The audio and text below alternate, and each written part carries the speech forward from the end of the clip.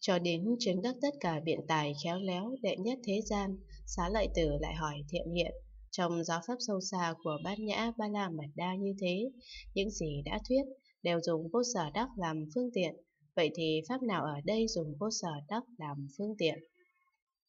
Thiện hiện đáp, ở đây ngã cho đến người thấy dùng vô sở đắc làm phương tiện, ở đây sắc cho đến thức dùng vô sở đắc làm phương tiện, ở đây nhãn xứ cho đến ý xứ dùng vô sở đắc làm phương tiện, ở đây sắc xứ cho đến pháp xứ dùng vô sở đắc làm phương tiện, ở đây nhãn giới cho đến ý giới dùng vô sở đắc làm phương tiện, ở đây sắc giới cho đến pháp giới dùng vô sở đắc làm phương tiện, ở đây nhãn thức giới cho đến ý thức giới dùng vô sở đắc làm phương tiện, ở đây nhãn xúc cho đến ý xúc dùng vô sở đắc làm phương tiện, ở đây các thọ do nhãn xúc làm duyên sanh ra cho đến các thọ do ý xúc làm duyên sanh ra dùng vô sở đắc làm phương tiện.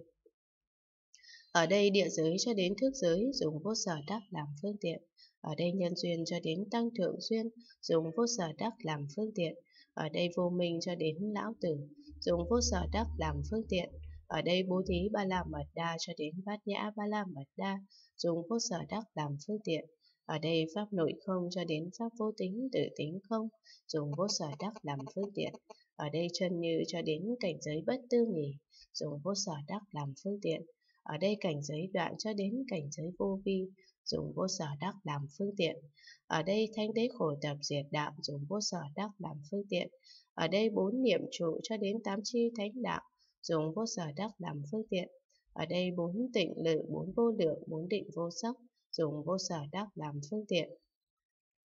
Ở đây tám giải thoát chín định thứ đệ dùng vô sở đắc làm phương tiện. Ở đây pháp môn giải thoát không vô tướng vô nguyện dùng vô sở đắc làm phương tiện. Ở đây tịnh quán địa cho đến như lai địa dùng vô sở đắc làm phương tiện. Ở đây cực hỷ địa cho đến pháp vân địa dùng vô sở đắc làm phương tiện. Ở đây năm loại mắt, sáu phép thần thông dùng vô sở đắc làm phương tiện. Ở đây mười lực như lai cho đến mười tám pháp Phật bất cộng dùng vô sở đắc làm phương tiện.